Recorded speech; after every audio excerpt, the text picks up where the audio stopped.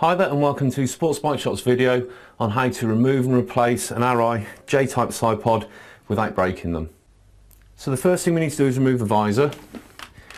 If you don't know how to do this, we have made a video showing how to do it, so please take a look before you proceed any further. We don't want you damaging your, uh, your helmet. Now for the purpose of this video, I'm using a clear side so you can see what's going on behind the scenes, so to speak, as I talk you through the, uh, the process of removing it. Now the first thing we need to do, the lever arm that we use to remove the visor, this needs to be in an up position out of the way because we need to gain access to the red tab underneath that. Now I'm going to be using a, an Arai side pod removal tool. You could use something like a lollipop stick, uh, but obviously don't use anything with a sharp point or a, a sharpened edge on it, as you don't want to cause damage to either the side pod base plate or more importantly, the, the shell of the helmet. It's cost you a lot of money to buy, you don't want to be replacing it before you have to. So we're just going to reach down underneath that lever arm and pull it up out of the way like so.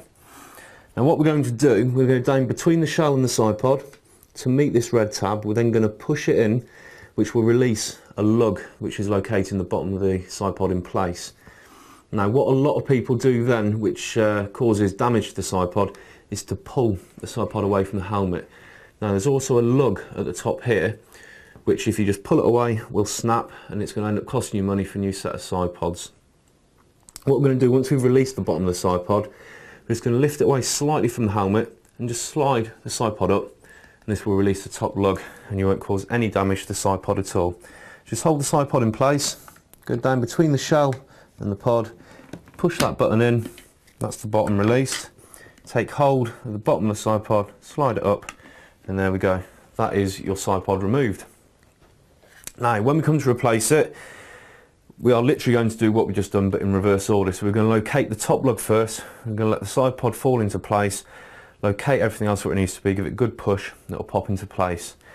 Now sometimes when you've replaced the side pod, you've put it into place, you've pushed it, you've heard a click, you'll let go and it'll pop off again. There is nothing wrong with the base plate or the side pod, it's just sometimes this button that we press doesn't release correctly. So when we've pushed it in, it hasn't released, you let go of the pressure, it pops back out. So basically you need to give it a bit more pressure and, uh, and it'll click into place. I've got a feeling this one is going to do that, so uh, it will show you the, the worst case scenario when you're refitting the side pod. Just pop the lever arm down out of the way. Locate the top lug first. Now if you put your finger where that lug is, the side pod will naturally kind of fall into place where it needs to be. Just make sure this lug is located between the two prongs of the red button we pressed. With the flat of your hand, all you're going to do is just push it until you hear a click. Now if I let go, I've got a feeling that this one's going to pop back out again. If I just test it, there we go, like so.